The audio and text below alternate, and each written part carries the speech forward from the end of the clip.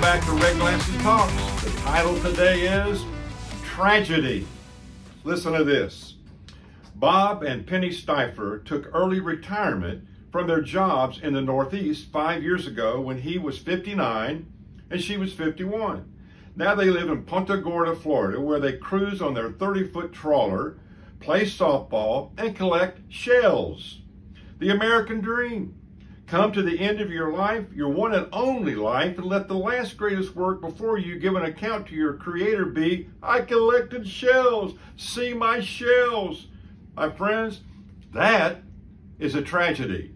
So we see today in our world people spending billions of dollars persuaded that somehow, some way, if they only get to that dream, they'll be fulfilled. That, my friends, is a tragedy. So, uh, are you uh, really focused in your life on things that matter? Are you really focused on, on things that are going to last forever? Uh, do you sit sometimes as you look back at your life and even now presently that you're really wasting your life? How do you not waste your life? Well, first of all, you got to come to know Christ. But coming to know Jesus, and by coming to know Jesus, I mean in a personal relationship where you have seen your need for His love, His forgiveness, His power, and you ask Him, invite Him, and receive Him into your life. He promises if you do that, He will come in. But that's not the end, that's just the beginning.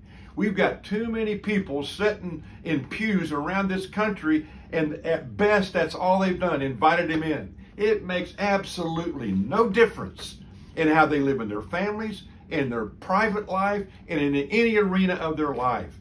Jesus, when he comes in, wants to create a revolution in us. He wants to transform us. So how do we do that? What, what is the Cliff Note version of how to do that? Here you go. Write this down. I hope you're taking notes. Unless you have a photographic memory, Matthew chapter 22, verse 37 and 38, Jesus said to him, You shall love the Lord your God with all your heart, with all your soul, with all your mind. This is the first and great commandment. The second is like unto it, you should love your neighbor as you love yourself. We have put a book together that's all over this country based upon the four principles that come out of those verses. It's called the four priorities. You say, well, you're trying to sell books. You're daggone right I am. I'll give it to you if you don't have the money.